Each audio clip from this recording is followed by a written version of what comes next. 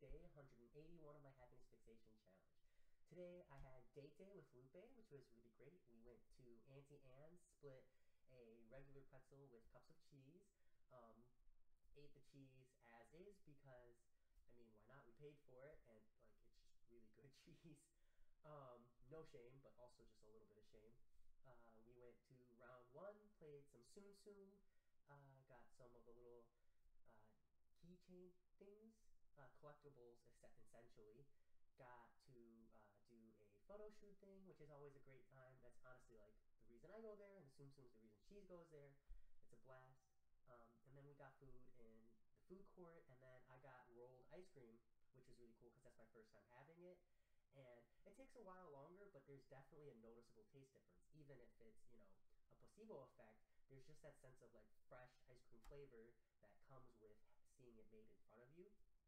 Um, and also part of it is just waiting for it. So it was a really good date today, great time. Um, we came back to my apartment and, uh, sorry, we went grocery shopping. I prepped some lunches. Uh, I played some video games, and overall, just a really good day off. That said, I hope that you have a lot of great things going for you. You have a lot of happiness to and